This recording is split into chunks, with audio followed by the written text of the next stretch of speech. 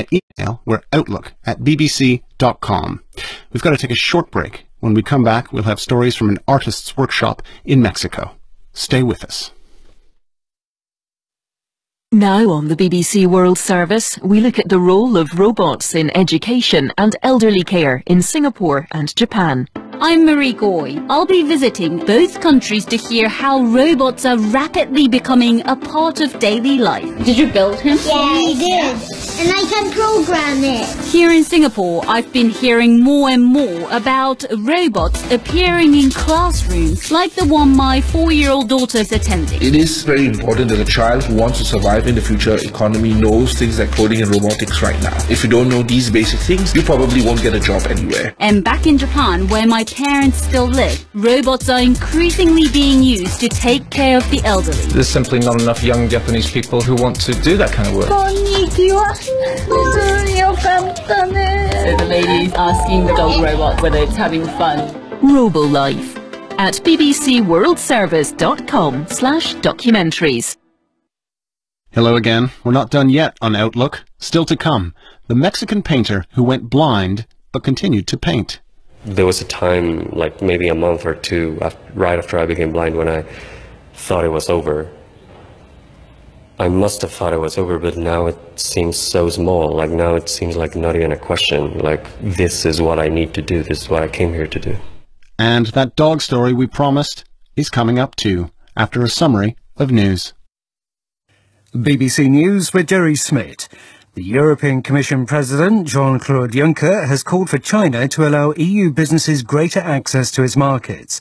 The demand came following talks in Paris between the Chinese leader Xi Jinping and European leaders who appear to be taking a harder stance towards an increasingly powerful China. The European Parliament has approved a draft law designed to protect copyright on the Internet in the face of fierce opposition from the Internet giants. The main author, Axel Voss, told lawmakers in Strasbourg that the measure would ensure fair payment for creators of content that's shared on the Internet. Opponents said the measure would force internet platforms to block copyright content regardless of legitimate uses. The International Energy Agency says emissions of carbon dioxide from energy production, the main contributor to global warming, have risen to an all-time high.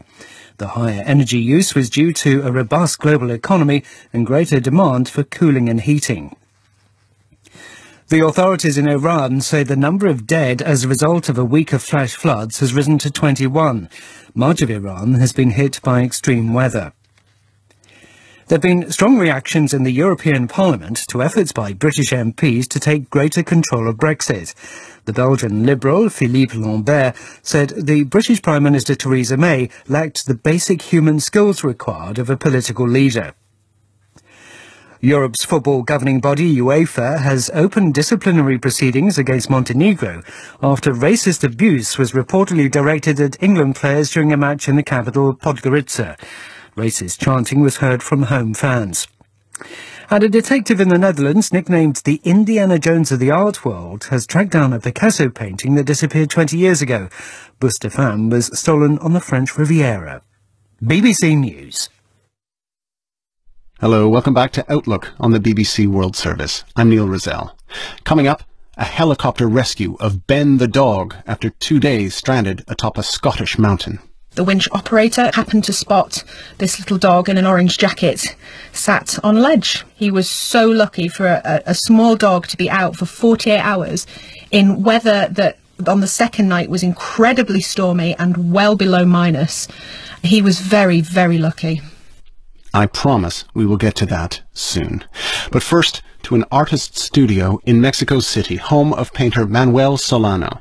Solano's work has been seen in big galleries around the world, but the artist doesn't ever get to see them in the way that most people would understand, because Solano is legally blind. So how does a person paint when they can't see the canvas? Outlook's Saskia Edwards went to find out. I find Manuel in their workshop in Mexico City. Well, I'm trying to find them. Yeah, I went up two flights of stairs. It's kind of like a grey building. Of course, Manuel replies, I wouldn't know what color the paint of the building is. Of course Which, well, first of all, I feel stupid for saying that, but second of all, it's the first realization of how strange it is for a painter to not even know the color of the paint around them every day.